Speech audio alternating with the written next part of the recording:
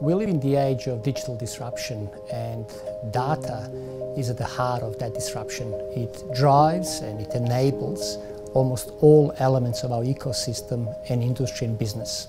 For this reason, digitalization is at the heart of the Swinburne Research Innovation Strategy.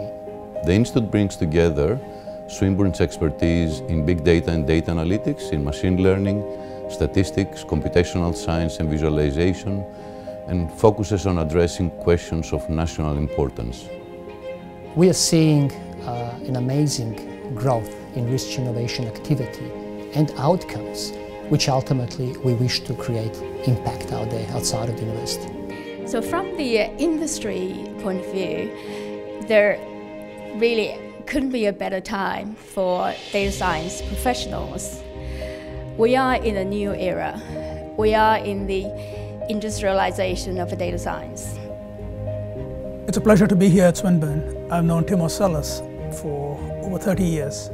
We've been colleagues in the field of data, databases, data science over many, many years. And I'm excited to see him here at Swinburne, which has a tradition of interdisciplinary work, a model of centers that bring together leaders in industry with the resources of a university to work at the intersection of really practical things and take academic research and translate it into real progress on the world. The Institute will leverage the capabilities of data science across the whole university. So this is a whole of university initiative and that's what gives it the power and the excitement. So the Data Science Institute will focus on four core research programs.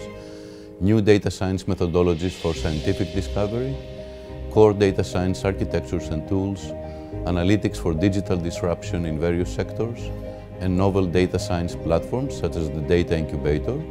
These are really exciting times at Swinburne. With the launch of our research innovation strategy last year, we've mobilized all of our research innovation assets and capacities across the campus. Hopefully, the insights you get from interpreting data will illuminate different fields. To accomplish this, you need to think of data as part of other things. So here, you seem to have that. You seem to have that vision where you don't just have this one data science institute, it's part of institutes in manufacturing, in healthcare, in social sciences. And that's, I think, the right way to think about this.